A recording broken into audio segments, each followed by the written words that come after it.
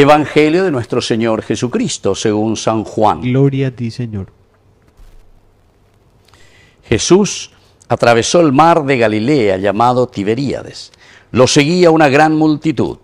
Al ver los signos que hacía sanando a los enfermos, Jesús subió a la montaña y se sentó allí con sus discípulos. Se acercaba la Pascua, la fiesta de los judíos. Al levantar los ojos, Jesús vio que una gran multitud acudía a él y dijo a Felipe, ¿dónde compraremos pan para darles de comer? Él decía esto para ponerlo a prueba, porque sabía bien lo que iba a hacer. Felipe le respondió, 200 denarios no bastarían para que cada uno pudiera comer un pedazo de pan. Uno de sus discípulos, Andrés, el hermano de Simón Pedro, le dijo, aquí hay un niño que tiene cinco panes de cebada y dos pescados.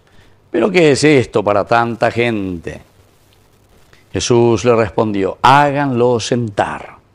Había mucho pasto en ese lugar, todos se sentaron y eran unos cinco mil hombres. Jesús tomó los panes, dio gracias y los distribuyó a los que estaban sentados. Lo mismo hizo con los pescados, dándoles todo lo que quisieron. Cuando todos quedaron satisfechos, Jesús dijo a sus discípulos, recojan los pedazos que sobran para que no se pierda nada. Los recogieron y llenaron doce canastas con los pedazos que sobraron de los cinco panes de cebada. Al ver el signo que Jesús acababa de hacer, la gente decía, este es verdaderamente el profeta que debe venir al mundo. Jesús, sabiendo que querían apoderarse de él para hacerlo rey, se retiró otra vez solo en la montaña. Palabra del Señor. Gloria a ti, Señor Jesús. Queridos hermanos, qué lindo aquí el Evangelio que nos presenta el autor sagrado, San Juan. ¿Cómo nos presenta San Juan? Aquí es un Jesús que primero dice que va atravesando Galilea, el mar de Galilea. Sabemos que siempre el mar, el agua significa obstáculo, peligro dificultad. Pero dice el agua, el mar. Moisés que abre el mar y podemos atravesar. Dificultad, problema, obstáculo. La presencia de Dios, el obedecer, el escuchar la voz de Dios, hace que nosotros podamos entonces abrir el mar, caminar sobre el agua, caminar sobre el mal. Entonces, todas estas significancias son muy importantes. De nuevo Jesús se encuentra cerca del mar de Galilea. Vamos a tener algún problemita entonces lo seguía una gran multitud.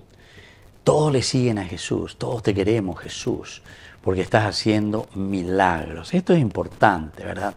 El milagro de la sanación. Pero, pero, pero, quiero acotar esto, porque ya muchas veces ya la palabra milagro, ah, ya enseguida, ya jamás, hoy mala milagro. No, el milagro en realidad Juan lo utiliza siempre con otra palabra para que no confundamos lo que significan los milagros. Signos utiliza San Juan, signos. El Señor realiza signos, signos de su presencia, signos de que Él verdaderamente está con nosotros, porque el verdadero milagro, esa consecuencia de un adherirse al Señor, de obedecer y de escuchar la voz del Señor, hace que nosotros consigamos que la gracia de Dios se realice en nuestra vida. ¿Entendés? La gracia de Dios que ya está en nosotros se despierte, se realice, trabaje, seamos felices, conquistemos la felicidad. Nosotros muchas veces, ¿saben qué es lo que hacemos? Aplastamos. Ya yo soy bebena, ya ese milagro, esa gracia, esa potencialidad que Dios nos dio para ser felices. Nosotros, por ejemplo, ahora tenemos toda la potencialidad, para el 30 de abril. Para el 30 de abril, cada uno de nosotros tiene una bomba atómica que se llama un voto, ¿verdad? Andela es estamos de votar por todos esos corruptos que siempre son los más conocidos, los bueno, hoy la eh, se llamaba la corrupta, ahora ahí está, tu bomba atómica, o te destruyó al país porque eres votaba ahí o si no también tenés la posibilidad de que destruya ese mal y esa corrupción, ¿entendiste? Así de sencillo. Y entonces por eso el Señor justamente aquí está realizando milagros, ofrece la posibilidad, te ofrece. Este es el momento en que nosotros vamos a realizar un gesto de milagro para nuestra nación, de cambio para nuestra Pero pega la milagro de Gina, ¿entienden? Pega la milagro de Gina, o si no vamos a seguir por secula seculorum de la misma manera. Ahora se nos dice bien, ¿verdad? Se acercaba la Pascua, la fiesta de los judíos. ¿Por qué será que te mete aquí esto? San Juan te tira una bomba también aquí, ¿verdad? Como diciéndote, ¿saben qué? La Pascua que había quedado simplemente en un ritualismo, porque Pascua significa paso, paso, algo nuevo. Hoy cuana lleva peñandere coe, peñandere yarecuana, la ipajumía. Eso es lo que quiere decir Pascua, el paso que tenemos que dar. Y entonces cuando te está diciendo que se acercaba la Pascua, la fiesta de los judíos, te está diciendo, atención, que los judíos hablan guau, ¿verdad? De un cambio, de un paso, pero hay que ver si eso sucede. Y aquí, Jesús que se da cuenta que esta multitud que tiene necesidad de Dios, tiene hambre de Dios, ¿dónde compraremos pan para darles de comer? Le pregunta a Felipe, es decir, a la comunidad, nos pregunta a nosotros, dale socio, moña de, moña nojeta lleva, un poco de paña, mongarujamueco, ahí varias y él decía para ponerlo a prueba.